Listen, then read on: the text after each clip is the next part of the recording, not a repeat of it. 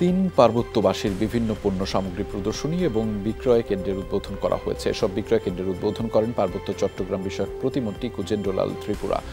রাজধানীর বেইলি রোডের পার্বত্য চট্টগ্রাম কমপ্লেক্সে এই প্রদর্শনী ও বিক্রয় কেন্দ্রের উদ্বোধন করেন তিনি। উদ্বোধন করে পার্বত্যবাসীদের তৈরি বিভিন্ন পণ্য ঘুরে ফিরে দেখেন প্রতিমন্ত্রী।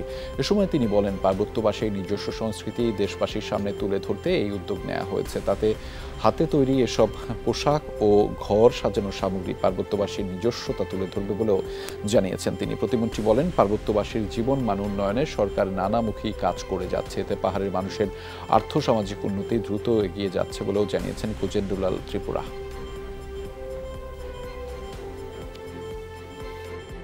আজকে যে স্টল দেওয়া বা প্রদর্শনী কেন্দ্র আজকে যে উদ্বোধন হলো এখানে, এটার মধ্য দিয়েই আমি বিশ্বাস করি যে অন্যান্য অঞ্চলের যে জাতিগোষ্ঠী সম্প্রদায়েরা আছে ইভেন বাংলাদেশের বাইরে যারা আছে, অন্যান্য বিদেশিরা যারা আছে, তারাও জানবে যে পার্বত্য চট্টগ্রামের মানুষের কৃষ্টি সংস্কৃতি এই ধরনের।